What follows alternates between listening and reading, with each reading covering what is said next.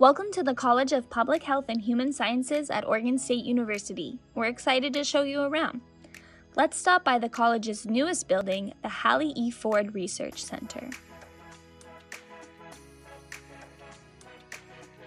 In 2008, just before her passing at age 102, Oregon philanthropist Hallie E. Ford made an $8 million gift to continue her legacy of love, care, and support for children and families, which built the Hallie E. Ford Center for Healthy Children and Families.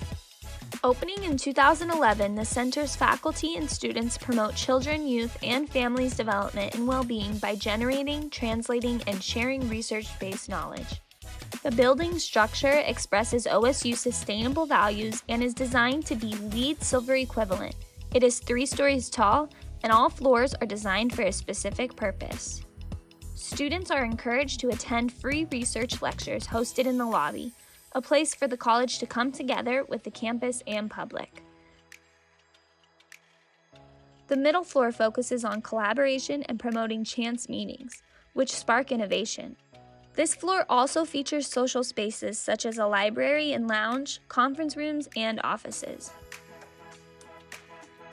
The top floor features an open office space for focused research.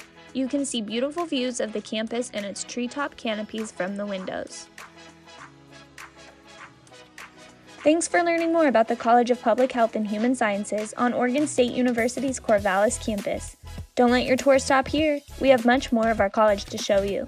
Select your next stop on our virtual tour to the left or visit our channel page to learn more about our majors and programs.